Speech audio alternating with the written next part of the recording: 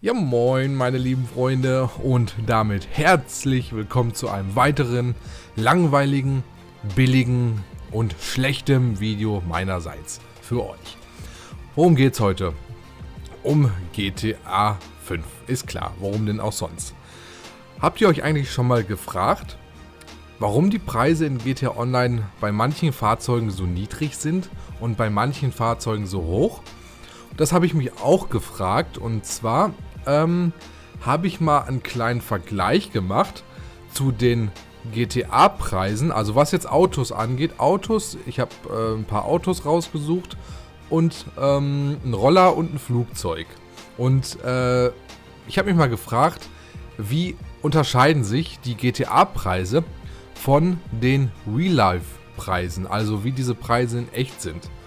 Das Ganze habe ich mal nachgeschaut für euch und mache jetzt einfach random ein billiges Video für euch darüber.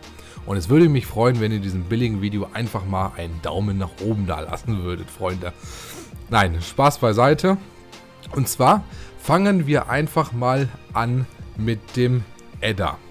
Der Edda ist nur, ist nur ein Beispielautos jetzt, ne? Der Edda kostet in GTA 5 hier eine Million GTA-Dollar. Die Frage ist jetzt natürlich, welches Auto ist der Edda eigentlich? Der Edda ist in echt der Bugatti Veyron Supersport. Das ist das Auto in echt. So, aber was kostet dieser Bugatti Supersport in echt?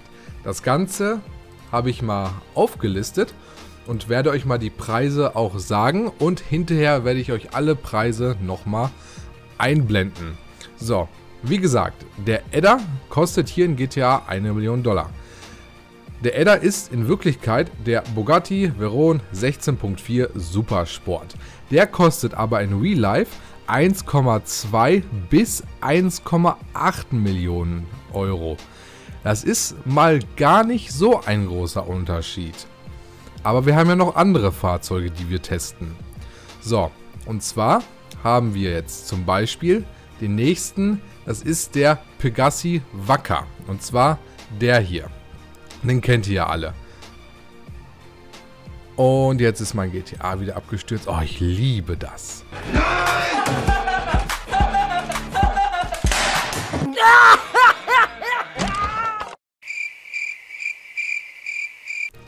So, da sind wir wieder. Keine Sorge, der Junge, der die Tastatur vors Maul gekriegt hat, dem geht's ganz gut, also keine Sorge. So, wo waren wir stehen geblieben? Genau, beim Pegassi Wacker. Der kostet in GTA 5 240.000 GTA-Dollar. Ist auch nur ein Beispielauto. Aber die Frage ist, was für ein Auto ist das in Real Life und was kostet er in Real Life? In Real Life ist der Pegassi, äh, Pegassi Wacker der Lamborghini äh, Gallardo und Kosten tut der in Real Life. Ich nehme immer die Neupreise. Ne? Das hatte ich vorhin beim ersten Auto nicht erwähnt. Ich gehe immer nach den Neupreisen, was diese Fahrzeuge neu kosten, nicht gebraucht. Weil in GTA kann man ja auch keine gebrauchten Wagen kaufen.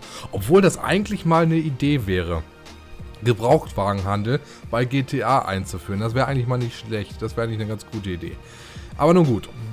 Was kostet der in Real Life? Und zwar kostet der, wie gesagt, in GTA 5 kostet der 240.000 und in Real Life kostet der 229.560 Euro.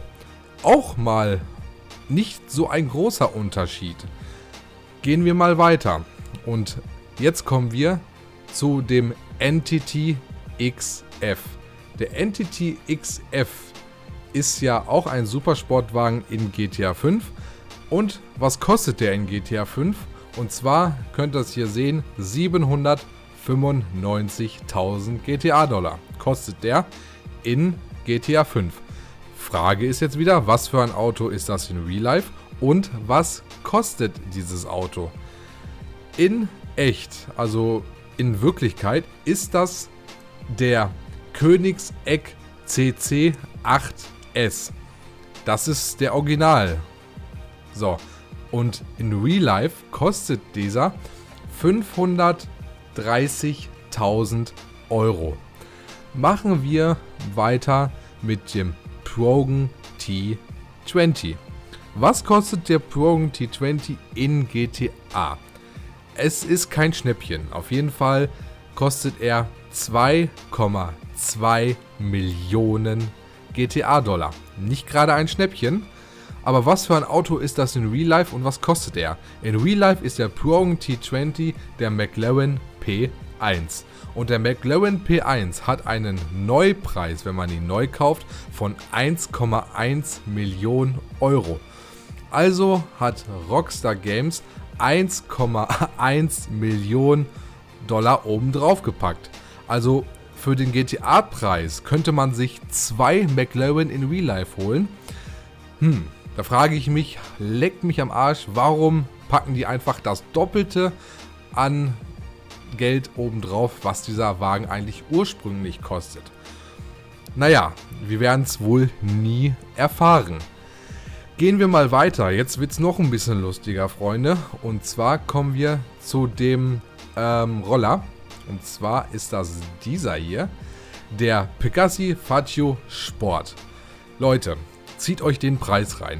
Dieser Roller kostet in GTA 5 47.500 GTA-Dollar. Leute, ein Roller. 47.500. Hat der Goldfelgen oder was? Gut, habe ich mir gedacht. Schaust du dich mal nach um und schaust mal nach, was dieser Roller eigentlich in Real Life ist. Und ich bin auch ziemlich schnell fündig geworden, weil es gibt eine Seite, wo Rockstar Games ihre ähm, Autos anzeigt, woher sie eigentlich wirklich stammen. Da bin ich drauf gewesen und habe gesehen, dass das der Peugeot Celic ist. Warum kostet der in GTA, GTA einfach mal fast 48.000 und in Real Life maximal 1.200? Da stellt, stellt sich mir wieder einmal die Frage, woher nehmen die diesen gottverdammten Preis? Mir bleibt, wenn ich sowas sehe, manch bleiben mir echt die Worte weg und ihr hört es auch schon. Ich kann es einfach nicht nachvollziehen. Aber nun gut, wir haben ja noch ein Fahrzeug auf der Liste. Beziehungsweise kein Fahrzeug, sondern ein Flugzeug. Und zwar der Milejet, der Milejet oder wie man den auch immer nennt. Ich habe den ehrlich gesagt, glaube ich, noch nie geflogen, obwohl er da ist. Und ähm, auf jeden Fall kostet er hier in GTA 5 1,7 Millionen GTA-Dollar. Ein richtiges Schnäppchen für ein Flugzeug, muss ich sagen. Aber was kostet dieser in Real Life und was ist das eigentlich für ein Flugzeug in Real Life? Und zwar ist das der Bombardier CRJ 200. Aber was kostet der eigentlich? Und zwar sind wir im Real Life bei einer stolzen Summe von 40 Millionen GTA-Dollar. Äh, 40 Millionen Euro. Entschuldigung, nicht GTA-Dollar. 40 Millionen Dollar. In GTA 5 kostet er 1,7 Millionen und in Real Life eigentlich mal so 40 Millionen. Und schon wieder ist ein Preisunterschied da, wo ich nicht verstehen kann, wie dieser zustande kommen kann. Das teuerste Flugzeug, was wir ja in GTA 5 haben, ist der, ähm, dieses goldene Flugzeug da. Dieser Luxor Deluxe, genau, so heißt er. Und der kostet ja 10 Millionen. Stellt euch mal vor, wir würden für den äh, Jet jetzt hier, diesen Milejet, 40 Millionen Dollar zahlen. Ne? Das wäre ja schon ziemlich herbe. Nun gut, und hier habe ich nochmal alle Preise für euch aufgelistet. Hier könnt ihr das sehen.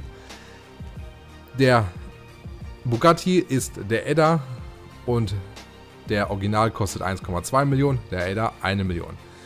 Der Lamborghini Gallardo ist in GTA 5 der Pegassi Wacker.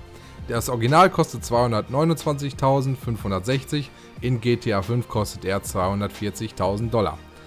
Der Königseck CC8S kostet 530.000 Euro in Real Life. In Wirklichkeit ist es hier ist es der Entity XF und der kostet in GTA 5 795.000. Der McLaren P1 ist in Real Life für 1,1 Millionen zu haben und in GTA 5 ist es der Progen T20 mit 2,2 Millionen GTA-Dollar. Der Peugeot Cilic ist für 1000 bis 1200 Euro zu haben. In GTA 5 ist es der Pegassi Faccio Sport und der ist für stolze 47.500 GTA-Dollar zu haben. Der Bombardier CRJ 200 ist in Real Life der Maljet. In Real Life kostet er 40 Millionen und in GTA 5, also die GTA 5 Version, kostet hier einfach mal nur 1,7 Millionen. Beantwortet mir mal folgende Frage. Was denkt ihr, wo Rockstar Games diese, diesen Preisunterschied hernimmt? Schreibt mir mal eure Meinung dazu unten in die Kommentare. Da würde mich mal echt interessieren, was ihr darüber denkt. Wenn euch dieses Video hier gefallen hat, dieses Billig-Video, dann gebt den ganzen einfach einen Daumen nach oben, um mich nicht zu traurig zu machen. Abonniere diesen Scheiß-Kanal, wenn du es noch nicht getan hast, mein Freund. Ansonsten war's das von mir. Ich bin raus und sage noch, bleibt gesund, meine lieben Freunde. Bleibt treu und dann sehen wir uns beim nächsten Video von German HD.